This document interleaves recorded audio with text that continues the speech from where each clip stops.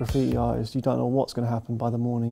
You could be in prison, you could be dead, or you could have a painting running. My dad was obsessive about trains. He used to take me to steam engine places in the country, and I just translated that love of the trains, but I added my mum's influence. She was part of the CND movement. There was a book, Subway Art, that had come over here.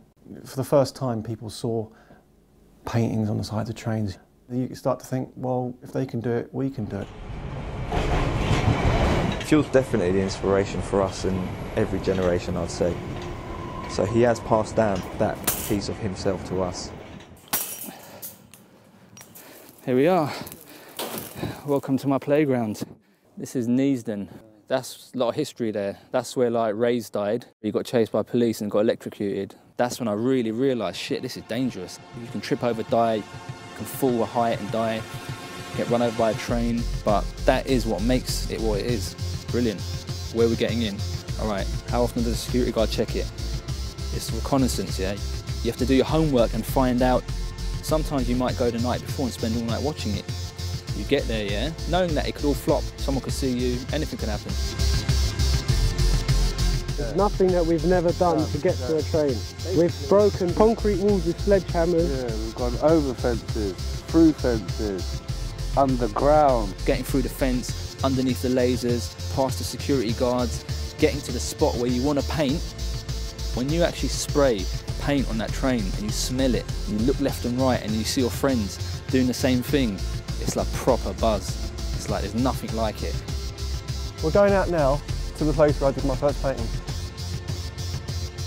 Really scared, I was shaking and I just wanted to touch the train. It was just like the beginning, it was like a sample of something much bigger. Because I knew once I'd done that, it was like I was committed to it somehow. It had a magnetism. Finishing it, yeah, is even more, it's like a cherry on top and getting away with no one seeing. Once you're painting, you know anything can happen. You can get police on either side. You know that this can send you to jail.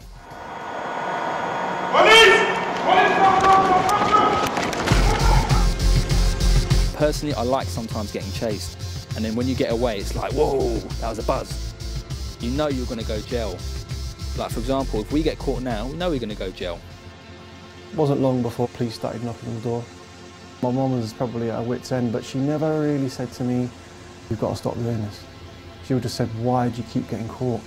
I've got pictures, yeah, I've got a lot of stuff actually here. Two metal boxes that um, hold 20 years. The photograph is really important. I like to make them fairly beautiful if I can. They don't want the public to see it. They want it shut away in the sheds and cleaned off as quickly as possible because they know how powerful it is for another person to see something like that. It's basically proving that people have overcome certain fears and constrictions about how they're told to live. And when you create a painting, it's a very symbolic, charged example of people overcoming that fear. And it helps other people realise that maybe they can also do something like that themselves, which is empowering for the individual.